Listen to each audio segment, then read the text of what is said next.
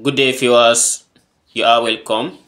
How to solve this nice simple linear equations.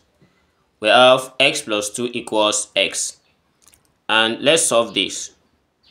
Graphically, there are two sides here. We have x plus 2 and here is x. Suppose I let, if I let y1 equals this side which is x plus 2 and we have the other one which is y2 equals x. So these two equations, they are equation of a straight lines. Hence, when we consider the equation of a straight line, we have y equals mx plus c. As we have our m here, which is the gradient, and we have c here which is the intercept. So by try and relate it with equation 1 comparing this equation 1 with this y1 equals x plus 2 that is the coefficient of this one it becomes m. Therefore in this first equation we are going to have m here equals 1 and where we have c here equals 2 which is the slope.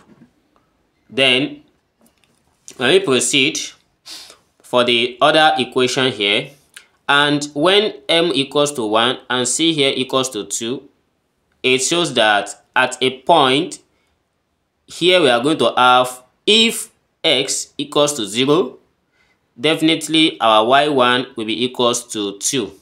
That is, both of them as the coordinate of 0 comma 2 and for the other equation here as y equals to x. For y equal to x this also shows that m here equals to 1 and uh, there is no slope it means c equals to 0 if c equals to 0 then we are going to have the coordinate of this at x equals to 0 Therefore, y also equals to 0. For the coordinate, we have 0, comma 0. Therefore, the graphical method of this, suppose we have a line like this.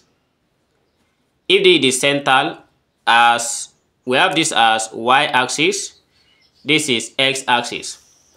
So for the first one, we have 0, comma 2 and the second one will have 0 comma 0 so if this one is 0.0 and suppose I take this as 1 SADS is 2 therefore when we try and look at this point it is 1 for the first one at x equals to 0 y will be equals to 2 so we have this line like this for y1 and also if your x equals to 0 we also have y equals to 0 so this 2 is at this point.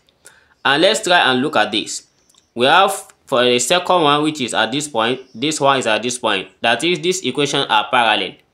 And when equations are parallel it means there is no solution. So there is no solution for this type of equation. So this is how we solve this one graphically. And we can still solve it uh, algebraically as well and look that look at it as there is no any form of solution to this problem. Algebraical method of solving this, let's say we have solution from here. We are given x plus 2 equals x. Let's say we take the square of both sides. And by expanding x plus 2 squared, we are going to have this as x squared plus 4x plus 4 equals x squared. And if I subtract x squared from both sides, let's say we have x squared minus x squared plus 4x plus 4 equals x squared minus x squared. So x squared cancel x squared here and x squared also cancelled x squared. Here we have 4x plus 4 equals 0. Then let's subtract minus 4 from both sides. So we are going to have subtract 4 from both sides. We have 4x plus 4 minus 4 equals 0 minus 4. Then this 4 cancelled 4. And when 4 cancelled 4, we are going to have 4x equals minus 4. Then dividing both side by 4 here,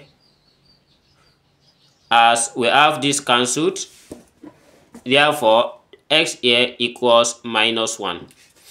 To someone, if we find the x equals to minus 1, we cannot just stop here.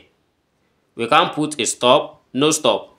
We have to consider if this equals and check. So by checking, we have x plus 2 equals x. Then we are going to substitute x equals minus 1 as minus 1 plus 2 equals minus 1. So minus 1 plus 2 equals 1 and this equals minus 1. But to this, 1 is not equals minus 1. So which shows that there is no solution. There is no solution to this problem. Thanks for watching. Don't forget to subscribe to this channel. See you in the next class. Bye bye.